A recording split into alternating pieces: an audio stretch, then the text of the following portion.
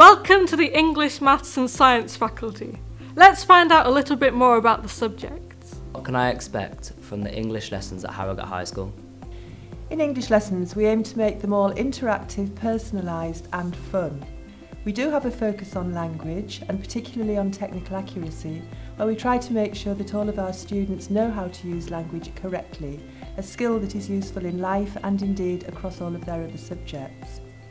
We concentrate on literature also, and we do try to foster a real love of reading for pleasure. We offer our students the opportunity to do accelerated reader at the start of lessons in year 7 and 8 and we also have built into our curriculum offer a larger chance for them to do free reading where we have a wide range of books that they can choose from and read for pleasure in lessons.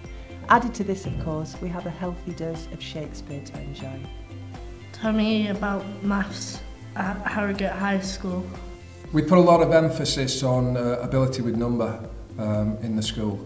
We want students to know their basics. We're, we do an awful lot of work in year seven um, on times tables, on addition, subtraction, multiplication, division.